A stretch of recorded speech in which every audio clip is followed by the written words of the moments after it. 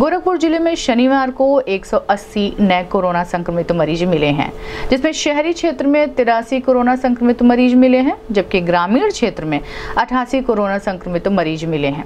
अन्य थाना क्षेत्र में नौ कोरोना संक्रमित मरीज़ मिले हैं।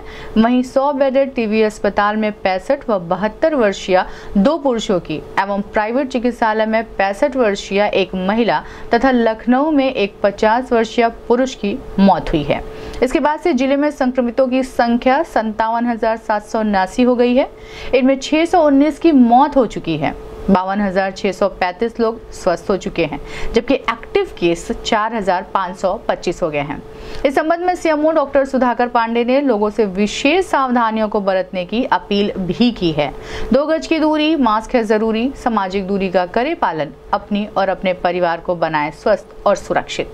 सीएमओ डॉक्टर सुधाकर प्रसाद पांडे ने बताया कि इस बीमारी से बचने के लिए विशेष सतर्कता बरतनी होगी और लोगों को भीड़ भाड़ से बचते हुए मास्क का इस्तेमाल करना होगा। जब तक कोरोना की वैक्सीन सभी को नहीं लग जाती, तब तक मास्क ही सबसे बड़ा हथियार है।